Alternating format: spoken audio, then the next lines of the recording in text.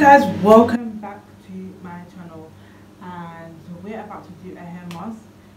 So yeah let's get into this video. I know already it's a DIY on my hair mask. I'm just taking out my braids. And I want to do something special for you guys. So I'm gonna do two hair masks. And yeah this is in one will be in the night and the other will be in the day.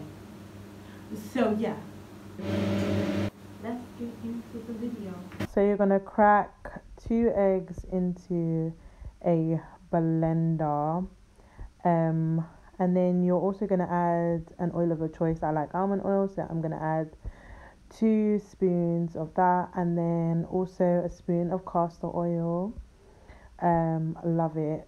Two spoons of that and then coconut oil. Fave i love my coconut oil and then obviously apple cider vinegar to get your cleanse in your hair so your scalp is literally clear and then yeah tomato we're gonna put two whole tomatoes in there and then we are going to put drops of tea tree oil because you know I love tea tree oil. It's great for hair stimulation. And then we're going to put some spoons of honey in there as well. Uh, three spoons of honey. Um, I like honey in my hair mask. So yeah, and then we're to pop the lid on and you are to blend sis. Like, just get your blend on.